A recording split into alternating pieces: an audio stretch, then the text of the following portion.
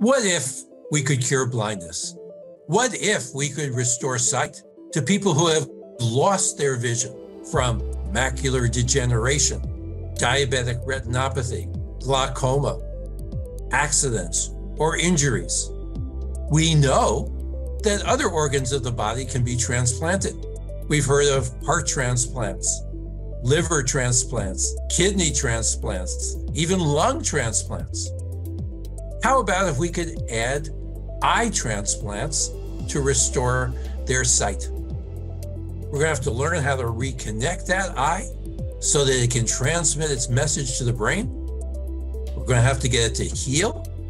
We're going to have to make sure that it doesn't reject so that it stays healthy throughout the person's lifetime. There's so much for us to learn, but there's also so much hope of providing an opportunity and a choice to people who are blind of getting their vision restored.